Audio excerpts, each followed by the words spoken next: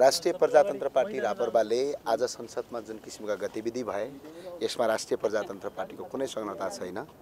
अहिले हामीले नेपाली काङ्ग्रेसले संसद अवरुद्ध गरेको अवस्था छ। राष्ट्रिय प्रजातन्त्र पार्टीले आज संसद अवरोध गरेको छैन। हामी चाहिँ संसद नियमित रूपमा चल्नुपर्छ भन्ने धारणामा छौँ। तर जसरी पनि कुनै पनि प्रधानमन्त्रीले चाहिँ बालकुमारी घटनाका दोषीलाई कारवाही गर्ने भन्नुभएको थियो। स्वयं प्रधानमन्त्रीले फागुन छ गतिको सम्बोधनमा बालकुमारीको घटना नभएर त्यो हत्या हो भन्नुभएको थियो। हत्याराका दोषीहरूलाई अहिले प्रधानमन्त्रीज्यूले अझ बढुवा गर्दै अहिले पनि उप प्रधानमन्त्री बनाउँदै परराष्ट्र मन्त्री बनाउनु भएको छ। यसको जवाफ चाहिँ रापरबाले माग्छ तर आज होइन। जस्तो माननीयज्यू सुनको विषयमा गृहमन्त्रीले के जवाफ दिनुभयो भने प्रहरीले नै प्रमाण नष्ट गरेको सम्मको आशय आउने खालको चाहिँ अभिव्यक्ति दिनुभएको छ। कसलाई विश्वास गर्ने जनताले? अब यसो गृहमन्त्रीज्यूले जुन जवाफ आइसकेपछि गृहमन्त्रीज्यूले उहाँ अधिकारीहरूलाई आजै अहिले नै कारवाही गरिसक्नुपर्छ। गृहमन्त्रीलाई पूर्ण अधिकार छ प्रमाणसहित कारवाही गर्ने र सम्मान माननीय गृहमन्त्रीज्यूलाई ती प्रहरी अधिकारलाई कारवाही गर्ने र साथसाथै अर्को जुन छानबिन समिति बनाइएको छ छानबिन समितिले नै गलत रिपोर्ट ल्यायो भन्ने कुरा भएको हुँदा छानबिन समितिमा बसेका मान्छेहरूलाई पक्राउ गरियोस् टेलिभिजन र मिडियामा नबोलियोस् पक्राउ गरियोस्। जस्तो गृहमन्त्रीकै विषयमा प्रश्न छ पहिला। पहिला यो कुरा सकौँ न। यो कुरा सकौँ भने गृहमन्त्रीज्यूले अहिले के भन्नुभयो भने भन्ने कुरा तपाईँले गर्नुभयो। सुन प्रकरण काण्डमा प्रहरीहरूले नै त्यो रिपोर्ट लुकाएका हुन् भने प्रहरीका अधिकारीहरूलाई अहिले पक्राउ गरेर जेल हाल्नु पर्यो। यो मिडियामा बोल्नभन्दा पहिला पक्रेर अनि मिडियामा बोल्नु पर्यो। किनभने अब गृहमन्त्रीज्यू भनेको त आधिकारिक पोस्ट हो नि त। आधिकारिक व्यक्तित्व हुनुहुन्छ नि त। र अर्को कुरा चाहिँ के हो भने जाँदा जाँदै अर्को एउटा विषयवस्तु के हो भने जस्तो सुन प्रकरण काण्डमा गृहमन्त्रीज्यूले भनिसक्नु भएको छ कि त्यहाँ जसरी त्यो दोषी पत्ता लगाउने कुरा होइन कि तपाईँको झन् दोषीलाई बचाउने काम त्यो चाहिँ रिपोर्टले गर्यो भन्ने कुरा आएको छ। त्यो भएपछि त्यो छानबिन समितिमा जो जो मान्छेहरू राखिएका छन् ती मान्छेलाई कारवाही गर्न सकिन्छ। यदि गृहमन्त्रीले त्यो आधिकारिक पुष्टि भएपछि उहाँलाई पक्राउ गरियोस्।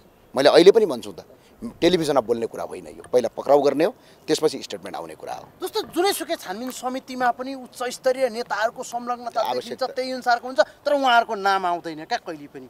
उच्च- हुन्छ यहाँ जाँच नेपालमा? छानबिन समिति भनेको दोषी पत्ता लगाउनलाई होइन कि दोषीलाई उम्काउनलाई गरिन्छ। किनभने अहिले सुन प्रकरण काण्डमा मुख्य दोषी भनेको दुईजना व्यक्ति देखिनुहुन्छ। एक अहिलेको अर्थमन्त्री वर्षमान पुनः अनन्त जसको सिआइबीले हिजो विभिन्न पत्र पत्रिकामा फोन नम्बर सहित सार्वजनिक गरिसकेका छ। फोन नम्बरसम्म सार्वजनिक गरेको छ। भने सिआइबीका प्रमुखलाई आज कारवाही गरियो भन्ने कुरा सुनेको छु। त्यो कारवाही गरेको कहाँ? एउटा सुन प्रकरणमा ल्याप्चे लगाइएको काण्डमा हो कि? या पर अर्थमन्त्रीजीको फोनसहित बाहिर निकालेको कारणले हो? यसको जवाफ दिनुपर्छ गृहमन्त्रीज्यूले। तपाईँले यो सांसदमा किन बोल्नु भएन त? सांसदमा त अब हाम्रो कस्तो भने सांसदमा हामीले यो आवाज अब हाम्रो त हाम्रो तर्फबाट राख्ने मान्छेले अहिले त आउँदै थियो त समय। समय आउँदै थियो संसदै अवरुद्ध भइसक्यो। अब गर्नुहुन्छ कि?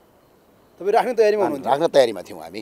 किनभने कि त त्यो पत्रिकाले गलत लेख्यो भन्नु रापरमा के भन्छ त? रापरपा के भन्छ भने अहिलेका गृहमन्त्रीज्यूलाई काम गर्न दिउँ भन्छ गृहमन्त्रीज्यूलाई स्पष्ट हामीलाई के विश्वास छ भने राष्ट्रिय प्रजातन्त्र पार्टीलाई के विश्वास छ भने अहिलेको गृहमन्त्रीज्यूले तत्कालीन अर्थमन्त्रीलाई विभिन्न प्रकरण आएका छन् पक्राउ गर्नुहुन्छ भन्ने कुरामा विश्वास छ। अहिलेको मन्त्री झन्डा हलाउँदै बयान जान मिल्छ त। पक्नुहोस् न एकछिन। मलाई यो जवाब त दिन दिनुहोस्। तपाईँले कोही तपाईँले मलाई प्रश्न गरिसकेपछि मैले त्यसको पूर्ण जवाब दिएपछि त्यसपछि हजुरले जवाब दिने हो। र अर्को कुरामा रापरमा के कुरामा विश्वस्त छ भने बालकुमारी घटनाका दोषीलाई हिजो हामी सँगै प्रतिपक्षमा बसेर उभिएर हामीले बालकुमारी घटनाका दोषीलाई सत्र हजार प्लस दुई सत्र हजार प्लस तिन भनेको हो। त्यो भएको हुनाले ती दोषीलाई गृहमन्त्रीज्यूले पक्राउ गर्नुहुन्छ भन्ने कुरामा पनि हामी पूर्ण विश्वस्त छौँ। र साथसाथै अहिले सुन प्रकरणमा गृहमन्त्रीज्यूले पहिलाको गृहमन्त्री जस्तो फुर्टी बाँड्दै हिँड्नुहुन्न भन्ने कुरामा म विश्वस्त छु। के विश्वस्त छु भने अनि के कुरामा म विश्वस्त छु भने गृहमन्त्रीज्यूसँग अहिलेको गृहमन्त्रीज्यूले सुन प्रकरण काण्डमा पूर्व उपराष्ट्रपतिका छोराहरू मात्र संलग्न होइन स्वयं पूर्व उपराष्ट्रपति संलग्न हुनुहुन्छ। पूर्व उपराष्ट्रपतिले आफ्नो छोरालाई हुम्ला जिल्लाको बासिन्दा बनाउनु भएको छ। सरकारी डकुमेन्ट कृत्य गर्नुभएको छ। उहाँ रोल्पा जिल्लाको हो। हुम्लाको होइन। हाम्रो नेपालको कानुनले के भन्छ भने छिमेकी चिनको नाकामा बस्ने जस्तै नाकामा बस्ने जिल्लाका मान्छेले मात्रै ओहोर दोहोर पाउ गर्न पाउने पटक पटक त्यो नीति र त्यो नियम छ। त्यो भएको हुनाले गृहमा त्यतिखेरका उपराष्ट्रपति पूर्व उपराष्ट्रपतिले उपराष्ट्र पदमा भएकै बेला आफ्नो छोरालाई हुम्ला जिल्लाको बासिन्दा भनेर सरकारी कागज कृत्य गरेको रेकर्डसम्म बाहिर आएको छ। त्यो भएको हुनाले अहिलेको अर्थमन्त्रीज्यूले पहिलाका मन्त्री जस्तो तलका भरिया पक्रिने तलका सामान्य मान्छे पक्रिने भन्ने कुरा होइन। उपराष्ट्रपति पनि पूर्व राष्ट्रपति पक्रिनुहुन्छ भन्ने विश्वास छ। सुनकाण्डका मुख्य नायक पक्रिनुहुन्छ भन्ने विश्वास छ। त्यही भएर का- काम गर्न आफै सहकारीको कुरामा जोडिरहनु भएको छ। यसमा के छ? यो पनि गृहमन्त्रीले छानबिन गर्नुहुन्छ भन्ने कुरामा विश्वास छौँ। आफै पदमा सहका आफैले कारवाही सह गरेको कहीँ थाहा छ तपाईँलाई? होइन त्यो गर्न सक्नुहुन्न भने त हामी नयाँ आएको के काम? हामी र पुरानामा केही फरक भएन नि त। गर्नुहुन्छ भन्ने विश्वास त छ। यो राप्रपाको विश्वास के ज्ञानेन्द्र साईको विश्वास? यो रापरपाको विश्वास। ज्ञानेन्द्र साई रापरपाको प्रमुख सचेतक हो रापरपाको विश्वास। हस् धन्यवाद।